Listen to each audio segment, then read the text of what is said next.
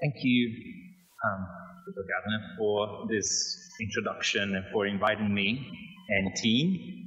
Um, uh, I just want to uh, acknowledge that this presentation stems from a research project called um, Beyond the Spherical Solution, the Australian contribution making the Sydney uh, Opera House.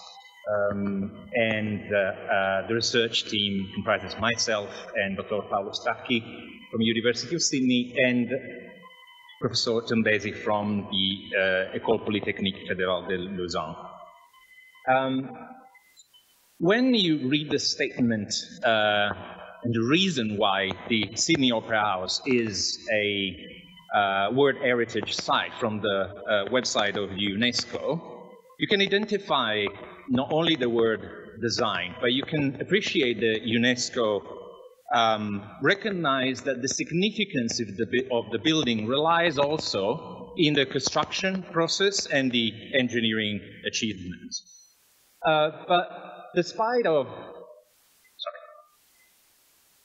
oh, wait.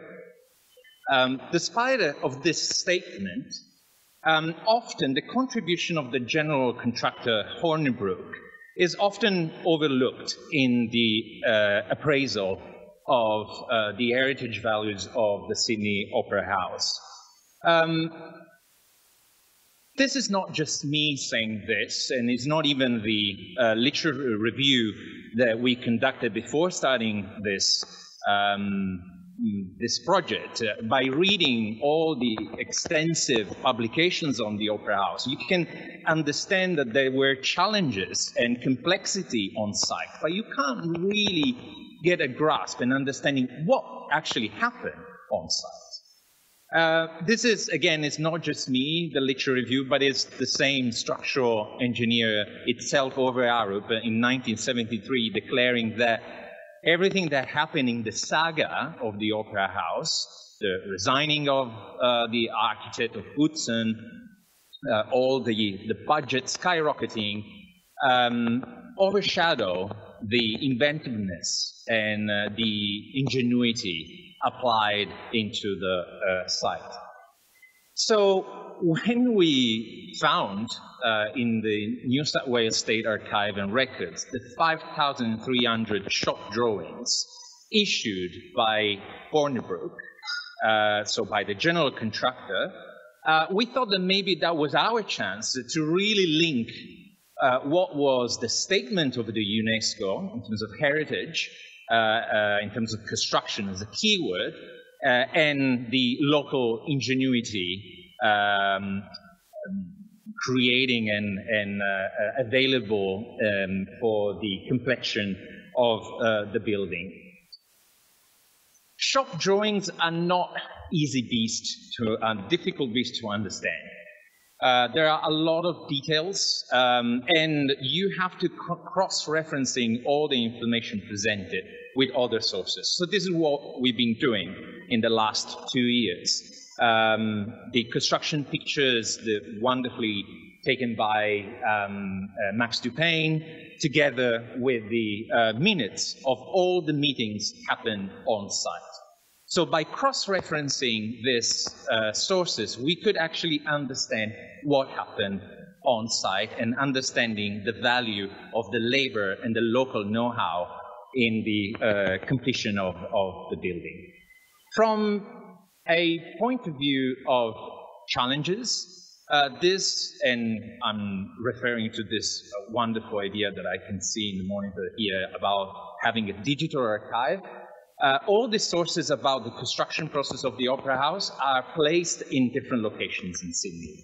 Some of them are actually in London as well in the Arup archive. But here, there are at least four archives that contain all the data that we need to use to reconstruct digitally the process uh, of the making of the Opera House. So when we start digging and digitalizing the, um, the shop drawings, we realized that there were three major things that the that Hornibrook, uh, the three major things that Hornibrook solved.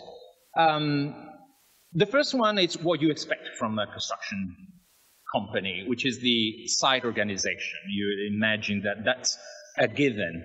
But then we start realizing that um, it wasn't just, Hornibrook wasn't just a recipient of information from uh, the Ove Arup, the structural engineer, or Utzon, the architect.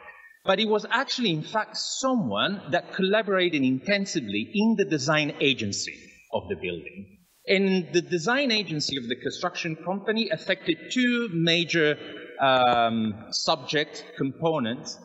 Uh, one is the erection procedures. And when we're talking about procedure, we didn't find just the schedule of the erection of the 2,400 elements erected into the roof of the opera house, but we also found the invention of needles, erection needles, steel elements that designed locally by Hornibrook sped up the process of the, um, uh, of the construction itself. The uh, other um, major um, sets of drawings are related to the formwork, where really the ingenuity of um, Hornibrook, who was a, uh, who was a bridge uh, designer and um, a general contractor, uh, mainly uh, specialized in bridge engineering, uh, took um, the majority uh, of its effort. So let, us have a look at these drawings. The drawings are actually quite perishable. Uh, we are talking about A0 panel in pencil. This is a drawing of one of the formwork system, what it was called bed. Um, this bed was uh, creating five segments. And uh, as you can see, there is a lot of cancellation and uh, there is a lot of rethinking. Um, then beautiful drawings about the site organization. Often what you don't realize how is not just that Opera House was a complex building, but the site was a complex one because it was basically um, just um, surrounded by water with a very tiny space left for storage in the casting yard, which was the factory to making uh, the 2,500 segments. Um, and then the beautiful uh, bespoke false work. If we talk about intangible heritage of a tangible building, then we can often refer to false work, to everything that has been forgotten, everything that has been demolished, but it was necessary to the erection of the building itself. This was all designed locally. Um, so we start lay down all these drawings into the timeline. And we start discovering something really interesting that unpacked the idea that Hornibrook was also a designer into the process of construction of the Opera House. Um, when we zoom in into this, uh, what we've done is like a simple color analysis um, uh, assigning one color to a specific task or a specific component that that shop drawing is uh, refer referring to. The first thing we discovered is actually Hornibrook started working on the Opera House before signing the contract. Arup and Hornibrook got together to decide together how to build the Opera House. And that informed all the decision that Ove Arup to afterwards. So there is, a, we discovered this pre-planning phase, and we're talking about 10 or 12 drawings um, that are the ones that demonstrate this mutual exchange of knowledge between the structural engineer and uh, the uh, architect, sorry, and, and the construction um, and the general contractor. The other thing that we realized by this color analysis is that the frantic problem solving that occurred throughout the construction. There's no a single color that is sequenced to the other. That means that if they were issuing some drawings for the tile lids and then they had to stop because the, another problem happened on site and then they had to issue more drawings on other issues again. So there is no a solid pattern and a solid change of color throughout this um, in, in this representation. And the other thing which I found most interesting, as you can see, uh, Hornibrook never stopped issuing drawings in the overall time frame of the sails construction. You would expect, if this was a construction, a, a simple uh, general uh, construction job, at some point the general contractor stopped issuing the drawings, the shop drawings, and start working on site. This issuing, this problem solving never stopped um, until the end of uh, stage two. All this, I should have said before, this is the time frame from the stage two, which is the sail construction of the opera, uh, of the opera house. Then we start asking ourselves clarity of the drawing, analyzing the clarity of the drawing, the structure of the drawing, the type of information, where these drawings uh, designed to convey an information within Hornibrook, or they were um, designed and communicate to communicate the know-how to the architect to um, uh, or to the structural engineer. And by doing so, we've done we managed to reconstruct the workflow and between uh, the structural engineer and the uh, and Hornibrook. And we realized something that, of course, was already in the idea of the pre-planning, but we saw that um, all the drawings issued by the gen, by uh, uh, by the structural engineer, uh, were um, decided after the first drawings of Hornibrook. So it's not the structural engineering indicating what to do to the construction uh, company, but it's the way um, around.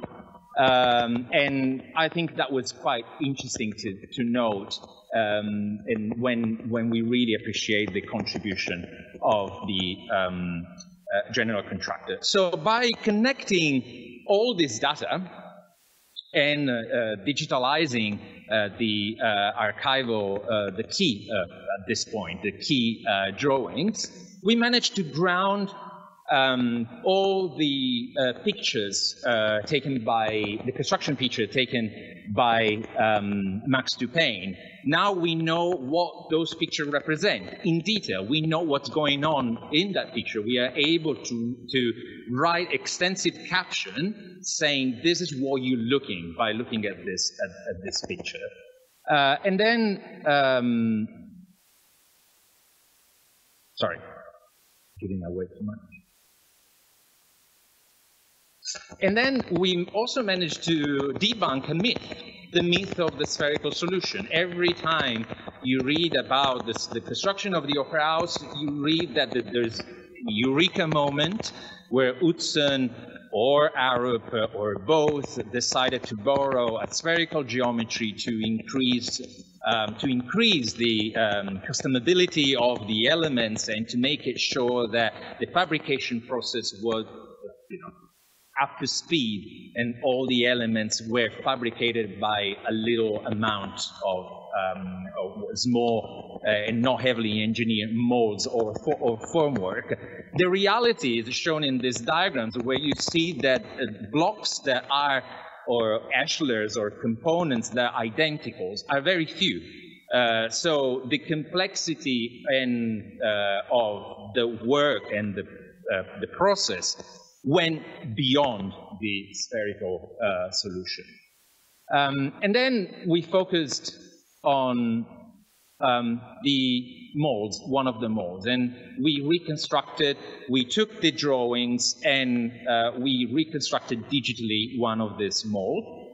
Um, the parallelism here was the idea that if uh, you are 3D modeling, um, one of these beds, you're encountering pretty much on the same difficulties or the same issues that people on site back then might have experienced. So we use the 3D modeling to really understand the complexity of what happened on site just by harvesting the data from the shop drawings and uh, representing them in a 3D uh, in a 3D way.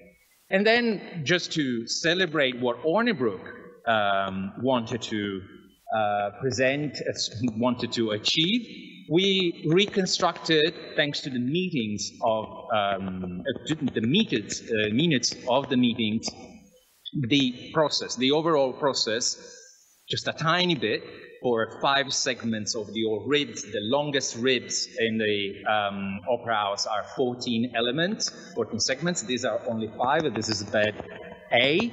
Uh, but all the things that you see in this uh, video are actually Australian invention. This is all the idea of using bulkheads, for instance, to divide singular elements. And the bulkheads are actually the only things that you can still see when you appreciate the, um, the, the from the inside the sails of, of, the opera house. But all this um, series of um, tasks and the overall process, for us, it was really um, the best way to link finally uh, the statement of the UNESCO in terms of construction as a heritage value of this building to uh, the building itself. Thank you.